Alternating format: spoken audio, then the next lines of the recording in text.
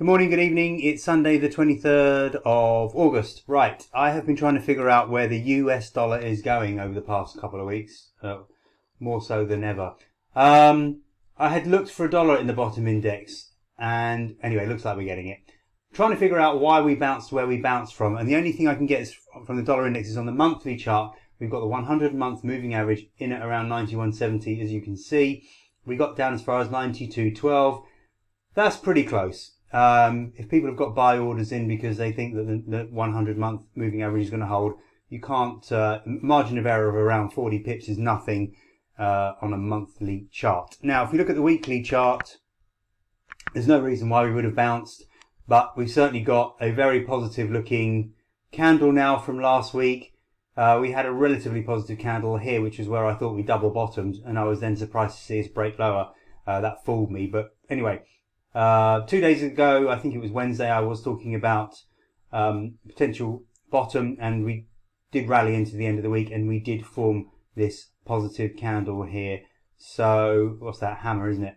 Uh, no particular support levels on the weekly chart to indicate why we bottomed, so I'm going to take it that the, the 100 month moving average was the reason that we held have found support. We are clearly oversold with the slow stochastic on the weekly chart as well, so this is all looking I have to take this as bullish for the US dollar.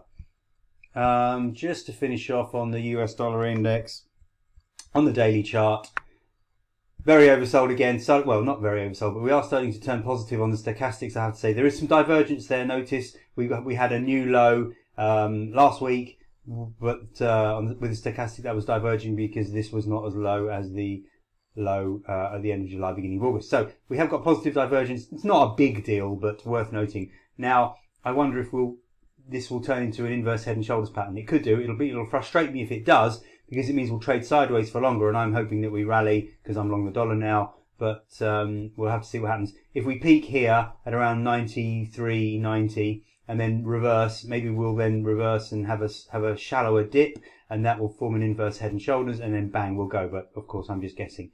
Uh, right now, we've got two decent. That's not quite an, a bullish engulfing candle because the low was not quite as low um, as it was in the 18th, but still a very bullish candle, big blue body. This is a, definitely a bullish engulfing candle. So you can see what I'm showing you is that there are some quite bullish signs. Uh, I can tell you on the hourly chart, we're now trading above the 100 and the 200 hour moving average, which is also uh, bullish in the short term. Aussie dollar probably was trade of the week last week when we sold it up here. Uh, and the short's looking good. Bearish engulfing candle. Uh, I think that we can look for some further losses in the Aussie dollar versus the US dollar, uh, especially based on what I'm seeing in the dollar index. Uh, maybe you're still short, if not, sell into rallies at the moment. Um, very nice reaction here at the 200 week moving average. This was my strong resistance level, working well. The weekly candle, as you can see, is quite negative. The spike up, the almost um, unchanged close. So yeah, again, I favour moves to the downside in the Aussie dollar. You can see we're overbought in stochastic on the weekly chart. The New Zealand dollar isn't really telling me very much, nor is the dollar yen, so I'm just going to leave them. Just going to have a quick look at the monthly chart for the euro. Uh, okay, so we spiked above the 100 month moving average, in fact, when we didn't quite reach it on the dollar index. So uh, a bit of confusion there. But you can see the 61.8 at 118.22. We spiked well above it, but we closed below it on um, at the moment on the weekly basis. That's the monthly chart. We'll look at the weekly chart. Um, so the weekly candle is very negative. The spike up, the lower close. So the shooting star, uh, coupled with some less than positive candles here, I would say. So look, I think the picture is, you know, you can see what I'm saying here. Um, a stronger dollar probably now. Um, as you can see, overbought in the weekly stochastic. I don't think there's going to be anything particularly interesting on the daily chart, we'll just have a quick look yeah. Uh, again, it's a sort of mirror image of the dollar index. Potentially, we might form an, a head and shoulders pattern and then collapse. We'll have to just watch that. I'm guessing. But for now, I do favour the downside for the euro versus the US dollar. This is one I've got my hopes on. Not quite a bullish engulfing candle. What do you call that? Um, forget the name of the pattern. You know me. I, I, forget all the patterns, but I know what they mean. That's quite a bullish um, candle. I would have.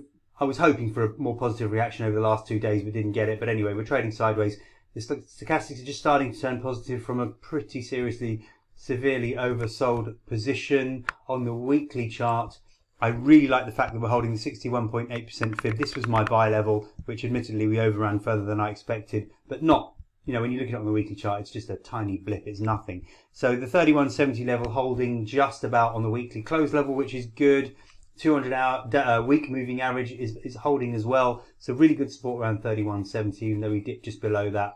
Uh, slightly oversold on the weekly chart as well. I'm long this, I'm long this over the weekend, so I'm really hoping for some, um, so uh, real good bounce back in the US dollar in this pair in particular.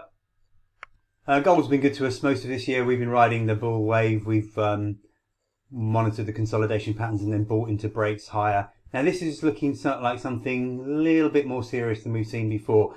I'm not saying that this is a negative pattern and that market's going to collapse, but I certainly do think that it's uh, too risky to be holding a long position now. Who knows? We could get down to this sort of 1857 area. Entirely possible. There's a good trend line there and certainly a good 23.6% support. It does feel like we, we are in need of a correction. Look at the stochastics on the weekly chart there as well. Um, there's no particular sell signal. There's nothing. There's no particular negative pattern other than the fact that, of course, we've had some serious, uh, serious correction already, and this peak is now, of course, lower than the previous peak. So in that respect, you could say that we're starting a short-term term downtrend just because we've got one lower high, although we haven't even got a lower low yet. Uh, we'd have to break the previous low at uh, 1863 to confirm a more negative pattern or trend in the short term at least. So what I'm saying is just be careful with gold. If you've got if you're holding longer term long positions, then you might want to lighten up a little bit uh, I'm sure eventually we'll break higher and, and the bull trend will resume, but right now it doesn't look like that is going to happen. So just be aware. I think the risks are to the downside. Oil's a funny one. The October contract, not easy to trade. Um, I don't think. Uh, as you can see, we don't seem to be able to spend more than two days going in one direction without reversing. Uh, three a three day pattern here at the beginning of the month, but generally we're just not really going anywhere.